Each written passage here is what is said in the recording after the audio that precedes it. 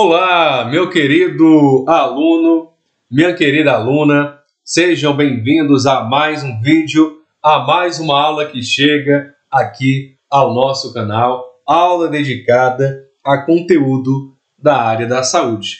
No caso, vamos iniciar a nossa aula, o nosso estudo sobre Covid. Este conteúdo será dividido em dois momentos.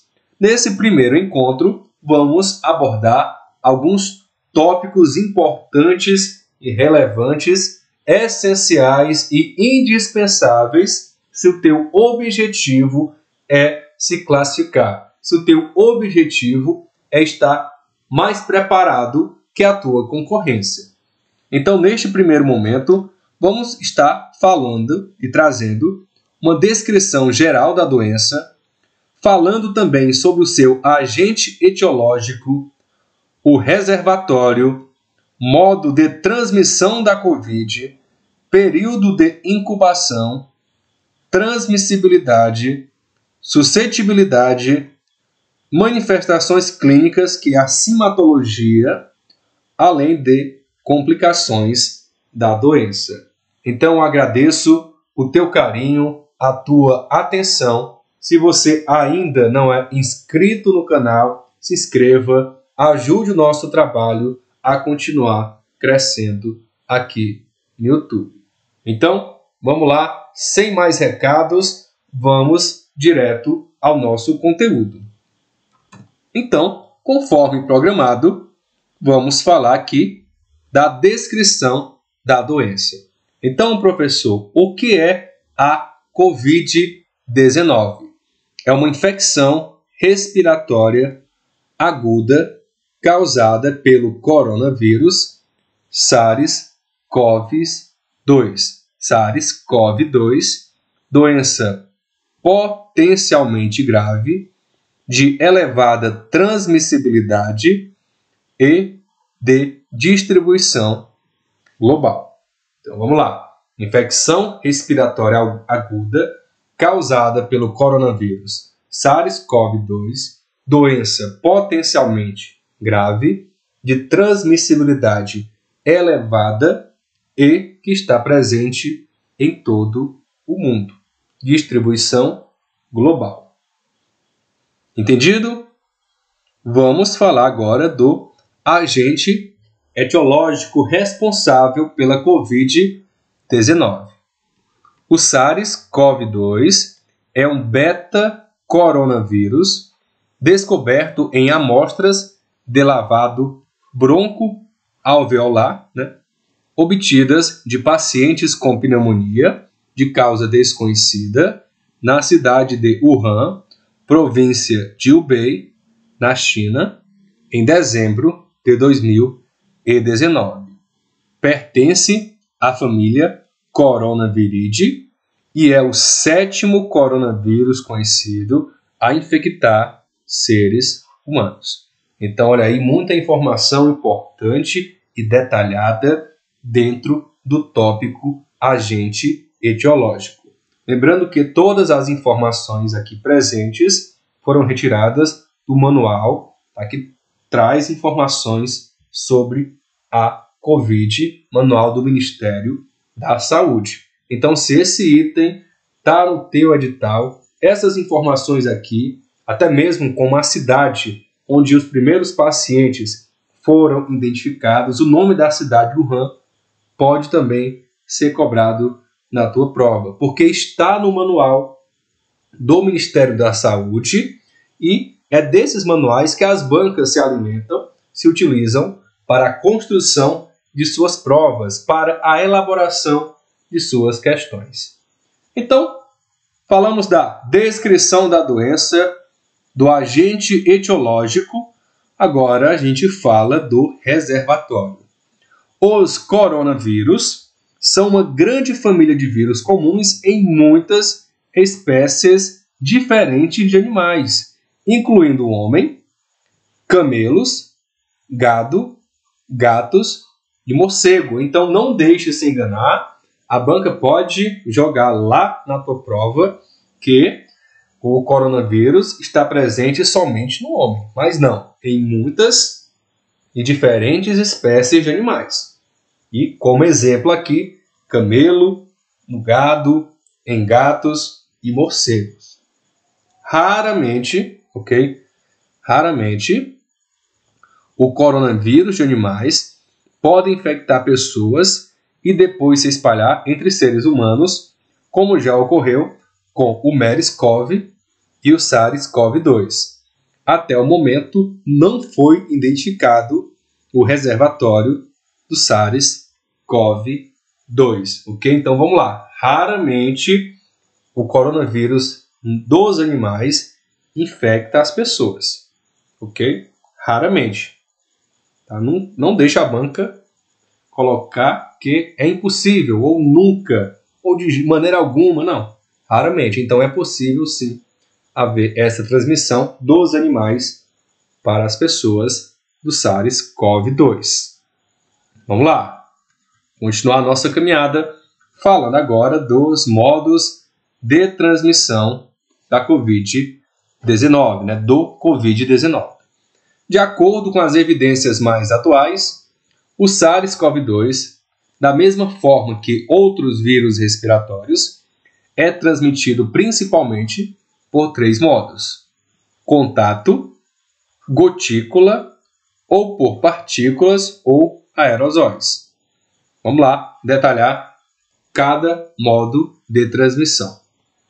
Primeiro é a transmissão por contato, que é a transmissão da infecção por meio do contato direto com uma pessoa infectada. Por exemplo, durante um aperto de mão, seguido do toque nos olhos, no nariz ou na boca, ou com objetos e superfícies contaminadas. Né? E esses objetos e superfícies contaminadas com vírus, no caso com SARS-CoV-2, são chamados de fomites. Então, é tá, o mesmo processo de transmissão de toda e qualquer doença causada por vírus respiratórios. Além da transmissão do contato, temos né, transmissão por contato, temos a transmissão por gotículas, que é a transmissão da infecção por meio da exposição a gotículas respiratórias né, expelidas contendo vírus por uma pessoa infectada quando ela tosse ou espirra, principalmente quando ela se encontra a menos de um metro de distância de outra. Então vamos lá. Falamos aqui da transmissão contato, que é o contato direto com uma pessoa infectada ou com objetos e superfícies que contenham o vírus. A transmissão por gotícula, né, que ocorre quando a gente se expõe a gotículas que contêm o vírus, né, gotículas expelidas por uma pessoa infectada quando ela tosse ou espirra. Esse contato é por gotículas, ele é maior quando estamos a menos de um metro de distância da pessoa infectada. Temos também a transmissão por via aérea.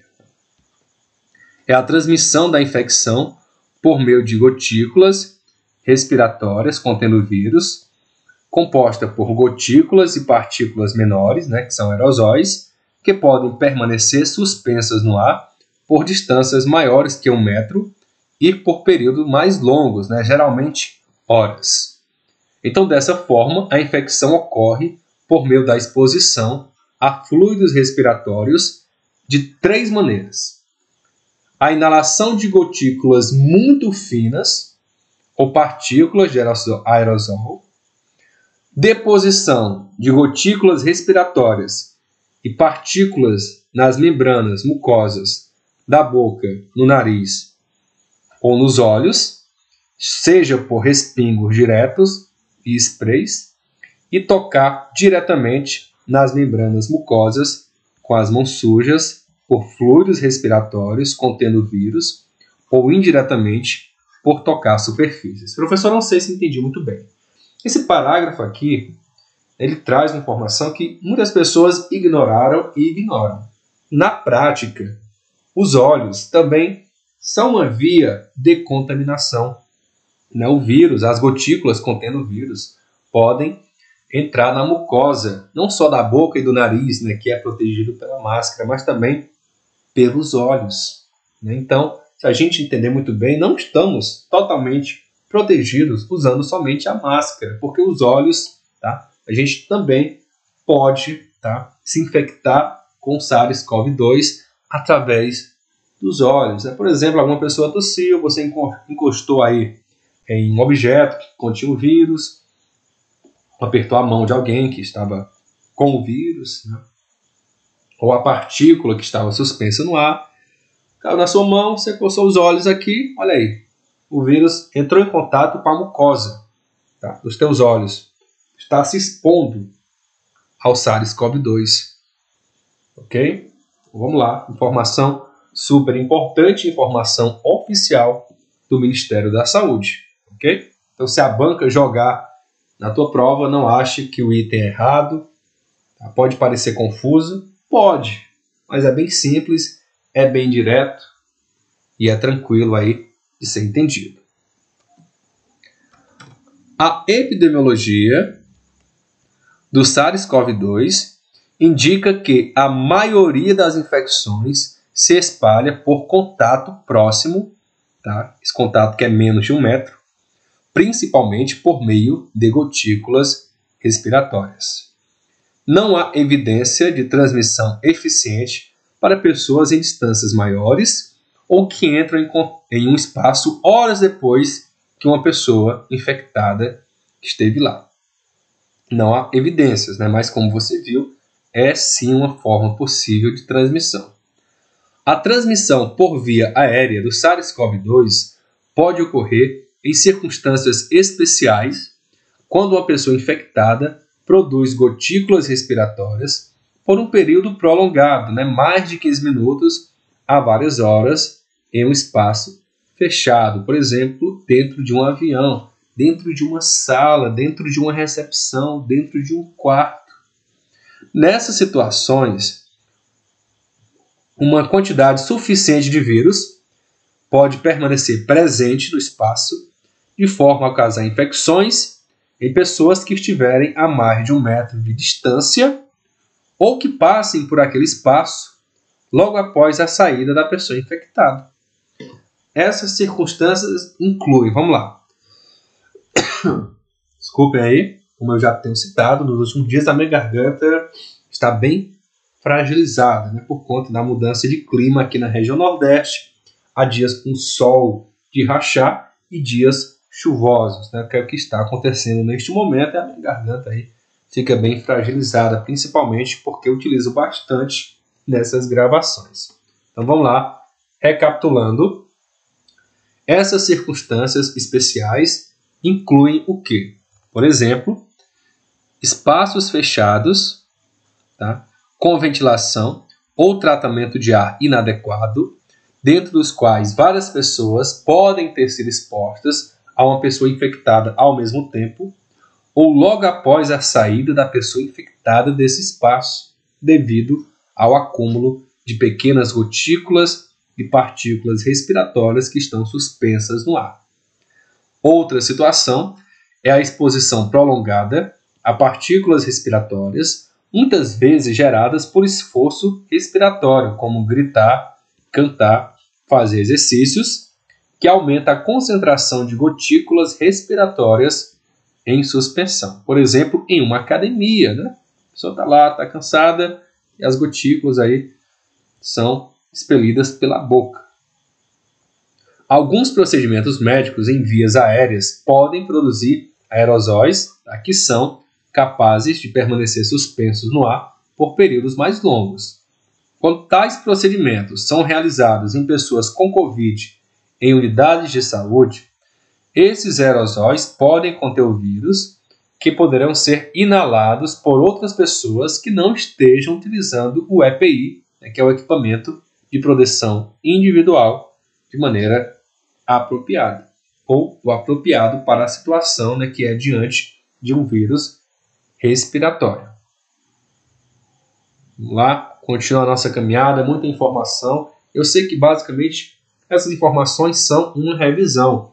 E no dia da prova vem quase como um instinto, né? De tanto que a gente leu, viu nas redes sociais, viu na TV. Então essas informações devem sim ser bastante conhecidas por mim e por você. Então é um assunto que flui tranquilo, tá bom? Sem sustos. Agora sim, vamos falar de elementos mais técnicos, como o período de incubação.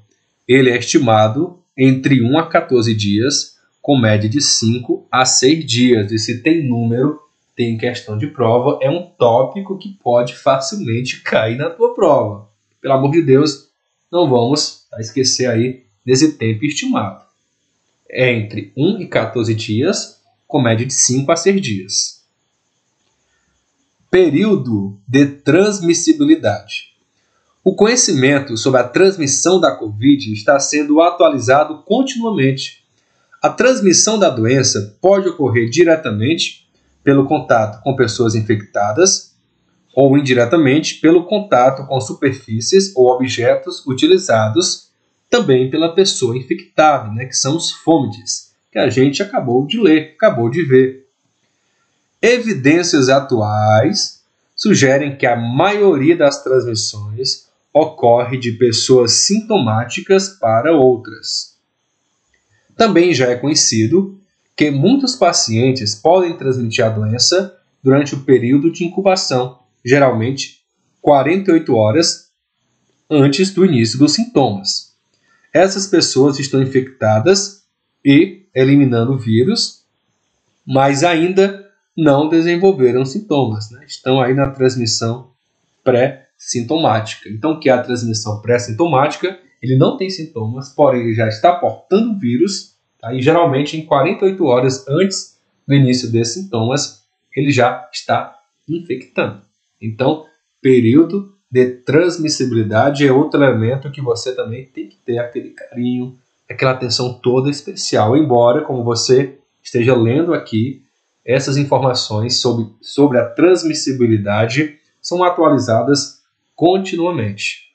Ok? Vamos lá. Suscetibilidade e imunidade.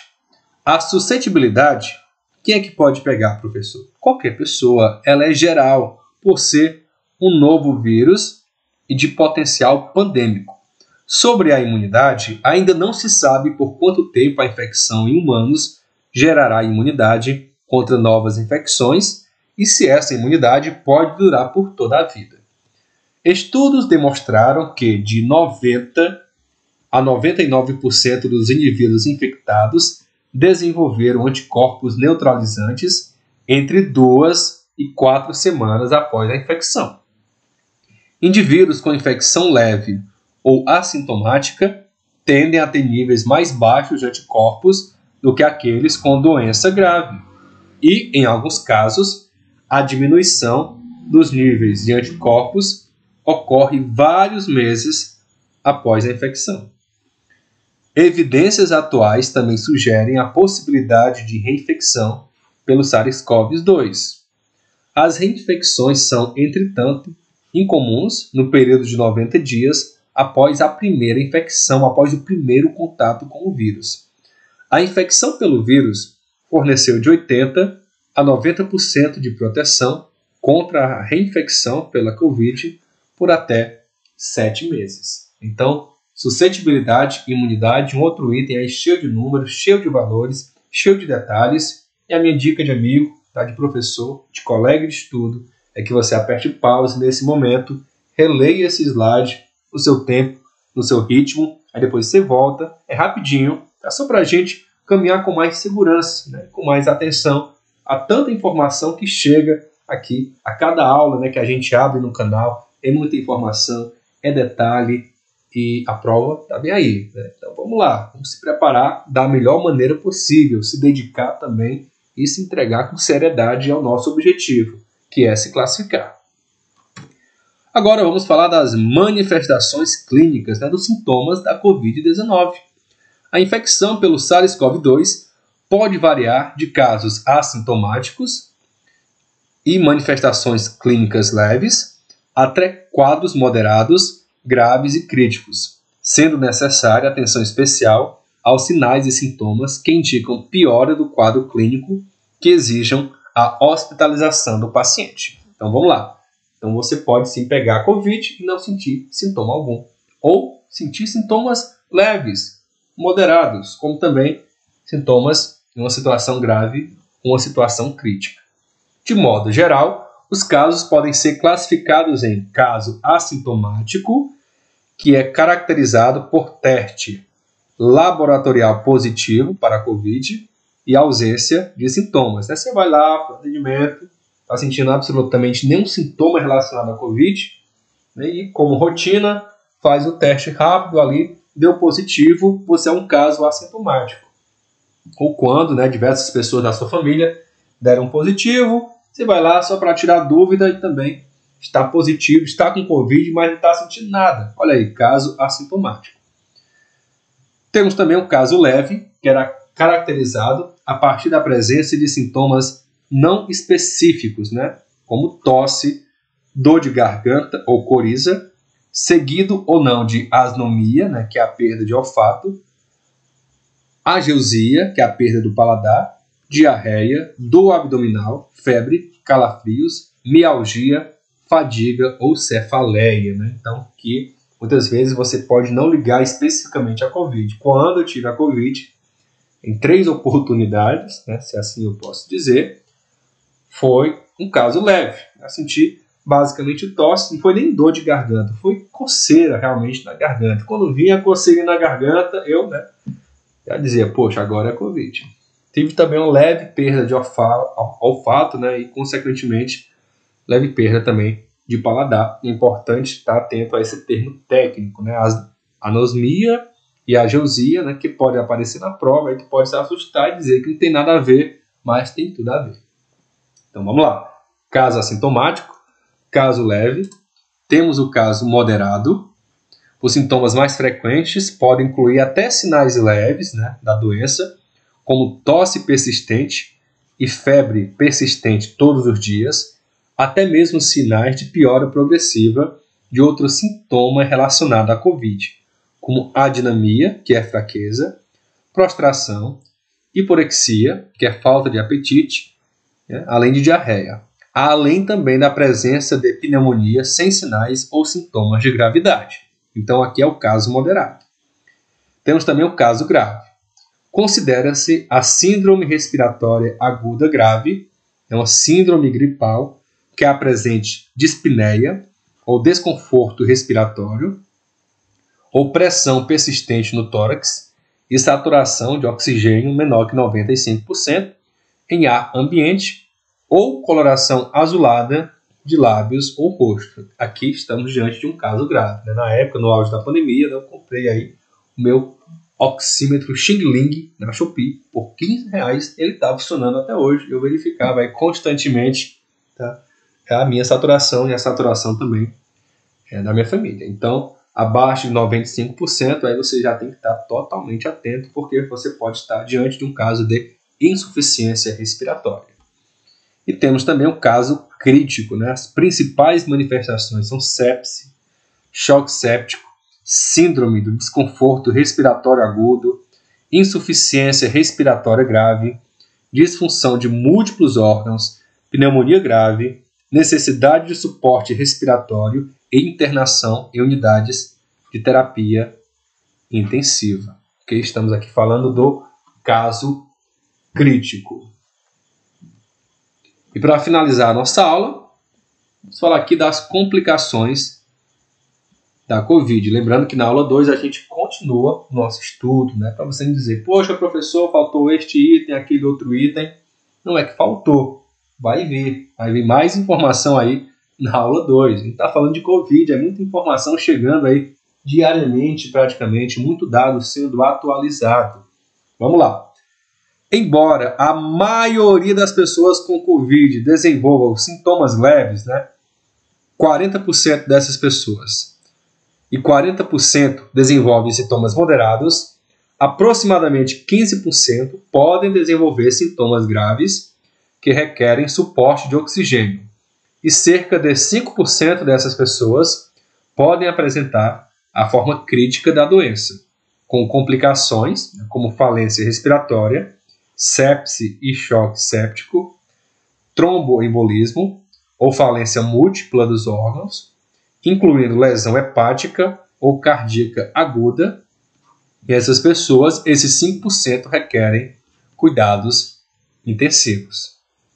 A COVID-19 pode estar frequentemente associada a manifestações mentais e neurológicas, incluindo delírio, agitação, AVC, meningoencefalite, olfato ou paladar prejudicados, ansiedade, depressão, além de distúrbio de sono.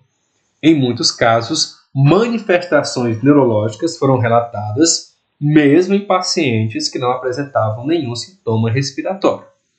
As manifestações são geralmente mais leves na população pediátrica do que em adultos, visto que a maioria das crianças que desenvolveram a síndrome respiratória aguda grave necessitaram de suporte ventilatório.